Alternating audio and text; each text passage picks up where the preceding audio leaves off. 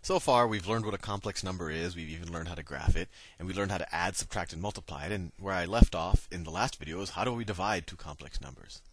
So I said, let's say I have one complex number, z1, and that equals a plus bi, i, and I want to divide that by z2, which is c plus di. So let me ask you a question, and, and I, I touched on this in the last video, and let me I did it in a different let me do it in a different color here.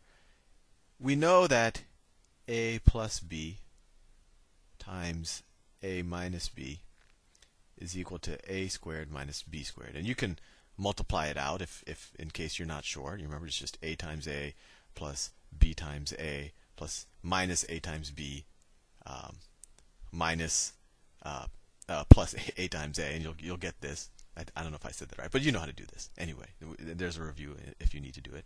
So given that, what is what is c plus d? What what happens if if we do something very similar with a complex number? If we say c plus di times c minus di. Well, in this case, a is c and b is di, right? So this is just going to be equal to c squared minus di squared. di squared. And that equals c squared minus d squared i squared. And that equals c squared minus d squared. And i squared is negative 1 right? So this is going to be multiplied by negative 1 so it cancels out this negative. So you get c squared plus d squared. That's interesting. When I multiply a complex number times this other number, which is very similar to it, but it, it's kind of the, the imaginary part goes in the other direction. When I multiply the two, I get a completely real number. All of the i's disappear. And in general, this number, if, if we call this z, well, in our example, this was z2. So if we say that z2 equals c plus di, the, the quantity C minus di is called its conjugate. And that's just good terminology, you know. And the, the sign for conjugate is that line over the top. So the conjugate of z2 is c minus di. Or you could say the conjugate of c minus di is equal to c plus di. Or you could say it the other way around. The conjugate of c plus di is equal to c minus di. And notice we're just switching the direction um, in the imaginary along the imaginary axis when we take the conjugate of something. With that said, let me let me uh, erase that and go back to our original problem because that the conjugate is the tool we're going to use to divide this. So we know when we multiply an imaginary number times its conjugate, we get a real number.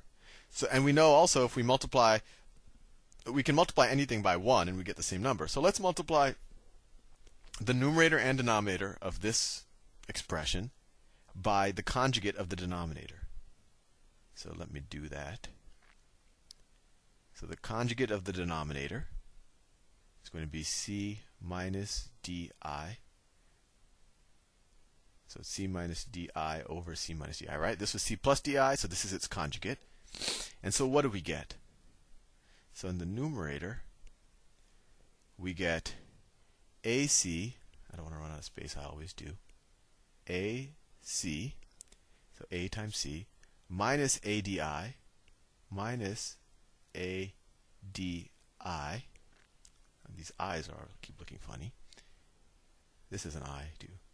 Plus BCI, plus BCI. And then the last term, we have a plus b minus b. So it's minus bdi squared. Minus bdi squared. All of that. And when you know this is a plus b times a minus b, so it's equal to a squared minus b squared. So this is going to be equal to, and this will become second nature to you after a while, but you might want to just multiply it out. This equals c squared plus d squared. And don't take my word for it. Actually, algebraically multiply this out and just realize you can only add real parts to real parts and imaginary parts to imaginary parts. So let me simplify that. That equals, let's see, the real parts, this is real AC, and this is minus BDI squared. So the i squared is minus 1, so it switches the sign here, so it becomes plus BD, and we can get rid of the i. So the real parts are AC plus BD, that's that and that. And then the imaginary parts are plus, this one's positive, so I'll put that one first, BC minus AD I.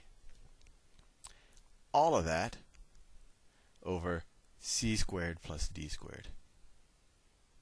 And that still might not look like a complex number to you, but then we can uh, separate them out and we could say, well, that equals AC plus BD over C squared plus D squared. And that's the real part. Plus BC minus AD over C squared plus D squared. And that times I, and that's the imaginary part. So you can't um, uh, you can't merge when you're adding and subtracting uh, the real part to the imaginary part, but you can most definitely scale an imaginary number by a real number. And that's essentially what we're doing. We're multiplying 1 over c squared plus d squared times this.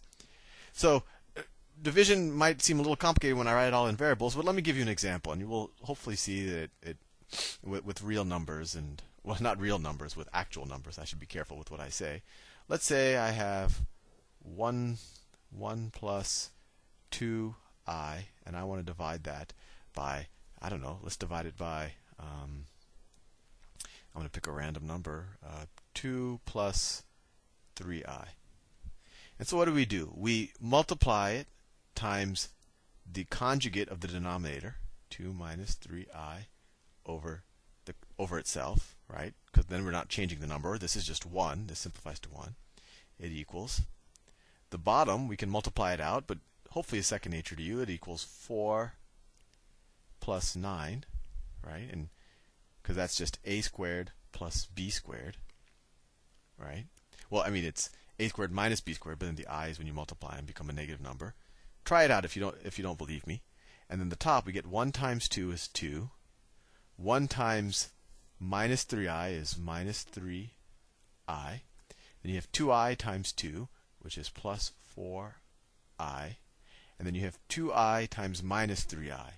So that's minus 6, minus 6i squared. Well, what does i squared equal? That equals negative 1. So negative 1 times negative 6. Get rid of the i squared, and this becomes a positive.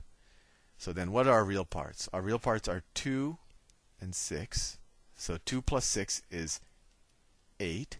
And what are our imaginary parts? Minus 3i plus 4i. So that's just plus 1i, right? Minus 3 plus 4 is positive 1. So it's just plus 1i over 13. Or we could write that as if we wanted to write it in kind of the traditional complex form is 8 over 13 plus 1 over 13i. So when I divided by uh, one complex number by another, I got another complex number. And a, an interesting exercise for you to do is pick some random complex numbers, uh, plot them out on, on the complex plane, and see what happens when you multiply them, when you divide them, when you add them, when you subtract them, and and um, and when you when you scale them, or when you take the conjugate, and and that'll give you a better intuition of what's going on with these numbers. Anyway, I will see you in